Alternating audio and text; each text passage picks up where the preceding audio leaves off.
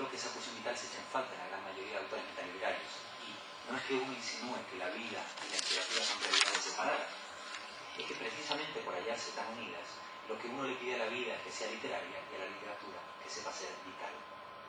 En esa dedicación, Bolaño era todo un maestro. Nada consta como dato en sus textos, todo está en este retorno.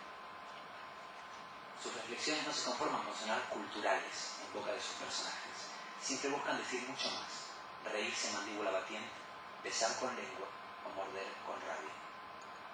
El resumen de esta poética podríamos buscarlo en el breve relato titulado Otro cuento ruso, que si no recuerdo mal está en Llamados. En este cuento un joven soldado sevillano sobrevive a la tortura gracias a la suerte de su lengua, literalmente, que está siendo brutalmente retorcida por unas tenazas. Sangrando por la boca, literalmente y metafóricamente sangrando por la boca, sufrido soldado intenta gritar ¡Coño! pero emite un sonido que sus torturadores confunden con Kunst, que en alemán quiere decir arte. Así es como, cito, la palabra coño, metamorfoseada en la palabra arte, le salva la vida. Al principio de la Universidad Desconocida, la recopilación póstuma de su poesía de juventud, creo que hasta el año 92 o 93, leemos el amargo lamento de Bolaño por los rechazos editoriales que hasta entonces había recibido. Muchos de los poemas de este tomo, que nombran la frustración de quien se siente soslayado, funciona como una autoafirmación en el vacío. Si estoy solo en el desierto, parece profetizar Bolaño, entonces ese desierto es mío. Y así fue. Se apropió de un espacio nuevo y gigantesco en el que no estaba nadie.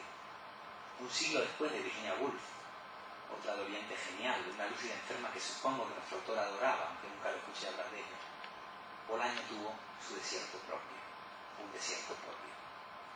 Casi todos sus libros se fascinan ante imágenes desérticas de toda clase, literales o metafóricas, claustrofóbicas o a la intemperie, paredes o paisajes. Ante la epifanía del páramo que alguien contempla a solas como un Friedrich canalla, un desierto dentro de otro desierto. La función del desierto en la obra de Bolaño no es siempre la misma.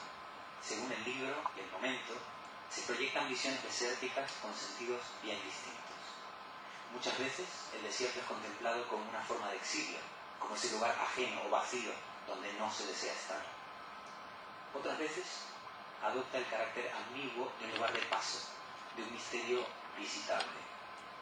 Y otras veces incluso, y esto me interesa mucho, se sugiere que el desierto podría ser un hogar, quizás el único hogar posible para los desarraigados. Estas tres fases o aproximaciones podrían nombrarse así lamento del desierto, estudio del desierto y aceptación del desierto. En prosa del otoño en Gerona, la primera serie poemática del libro, curiosa o casualmente titulado Tres, encontramos un trío consecutivo de textos que están en tres páginas consecutivas que ilustra con claridad estas fases. Lamento del desierto. Cito. El dinero que no cubre jamás y que por exclusión hace de mí una anacoreta el personaje que de pronto empalidece en el desierto. Estudio del desierto. Cito. La pantalla atravesada por franjas se abre y es tu ojo el que se abre alrededor de la franja. Todos los días el estudio del desierto se abre. Y, finalmente, aceptación del desierto. Cito. Aquello que se aparta puede ser llamado desierto, roca con apariencia de hombre, el pensador tectónico. El pensador tectónico, creo yo, es una metáfora del hombre o el individuo, la persona, que asume el desierto como su espacio natural y se convierte él mismo en el desierto, en el pensador tectónico. Algunos admiradores triviales prefieren imaginar a Bolaño tocado de una incontaminada santidad, recluido en su malditismo como si fuera un sacerdocio.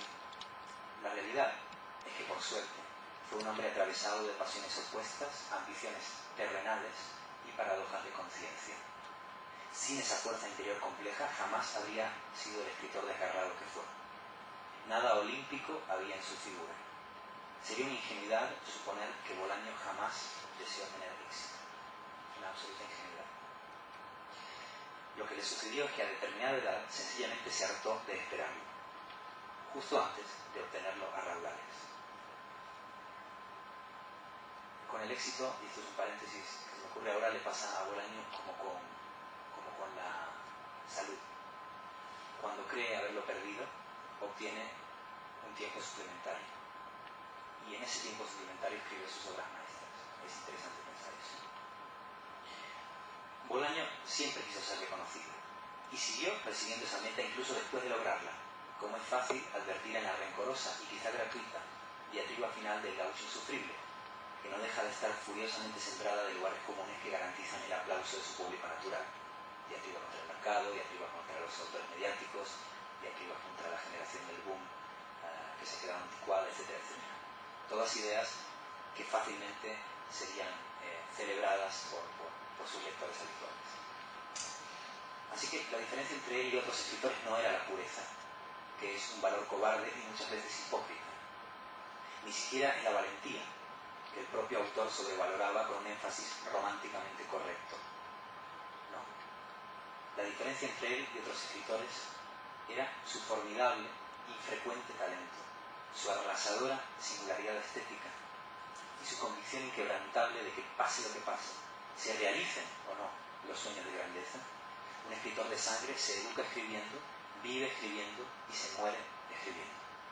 Contra viento y marea, contra todo y contra todos, también contra sí mismo. Esa fue la radical universidad de Bolaño. Para felicidad de la memoria del difunto, tan refractario a las formalidades académicas, la que por suerte nos ha absuelto la maravillosa Ana Pellicer, hoy no solo las universidades, la crítica o los círculos de prestigio aplauden su legado, sino también los escritores más jóvenes, que lo admiran hasta la devoción y lo imitan hasta la equivocación. Bolaño tenía un principio, un principio entre el romanticismo y la estrategia, que jamás formuló explícitamente, pero que cumplía con jocoso rigor. Toda la complicidad para los jóvenes, ninguna piedad para los consagrados. Aunque alcanzase a asistir a los primeros fuegos de su propia gloria, esa gloria le llegó casi tarde lo cual le permitía ponerse fácilmente en el lugar del aspirante, del desconocido. Su literatura genera una corriente de adhesión fanática entre los jóvenes que terminan buscando a Bolaño como sus personajes buscan a poetas raros, lo cual en estos tiempos no deja de parecerme una maravilla. En un reciente ensayo, Jorge Volpi, aplicando su teoría de la infección literaria, lo ha llamado epidemia. Bolaño, epidemia Bolaño. Sin embargo, una lectura verdaderamente provechosa de un autor contestatario, como es el caso que nos ocupa, debería, y lo digo por esos admiradores, debería inocularnos tanto el fulgurante virus bolañista como sus radicales anticuerpos. Y cito, todos los poetas, incluso los más vanguardistas, observa el acomodado Manuel Maples Arce refiriéndose a Belán y compañía en los detectives salvajes, todos los poetas, incluso los más vanguardistas, necesitan un padre, pero estos eran huérfanos por convicción. Huérfanos por convicción. Sospecho que más que el gusto por las vanguardias o el mesianismo, la parte del realismo visceral que mi generación podría suscribir tiene mucho que ver con esta afirmación de la orfandad elegida. Cuando un bolaño joven pero enfermo se lanzó a revisar desesperadamente los poemas de la Universidad Desconocida, no imaginaba el tiempo los libros y los aplausos que por fortuna le quedaban. Si, como él temía, si hubiera ido en aquel momento, quizás ahora no estaríamos hablando de él. Fue sobre todo durante los siguientes años de supervivencia en titánica carrera contra sí mismo, cuando un Bolaño inmensamente provisional le propinó a la eternidad media docena de obras maestras. Milagro terminal que, aunque nos entristezca recordarlo, supone una lección conmovedora sobre el poder del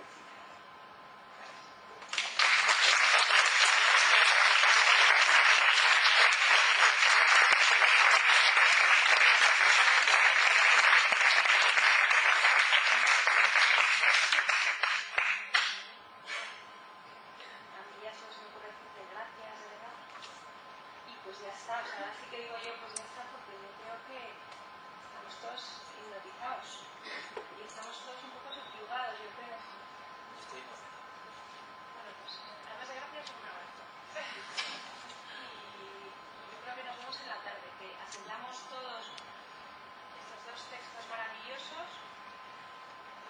Que iba a ser una mañana importante. Y después yo creo que,